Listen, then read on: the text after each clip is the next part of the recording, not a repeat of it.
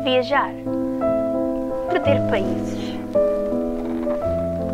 ser outro constantemente, por alma não ter raízes, de viver, de ver somente, não pertencer nem a mim, ir em frente, ir a seguir, a ausência de ter um fim e a ânsia de o conseguir.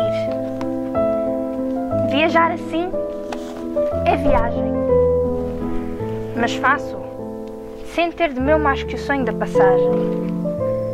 O resto, o resto é só terra e céu.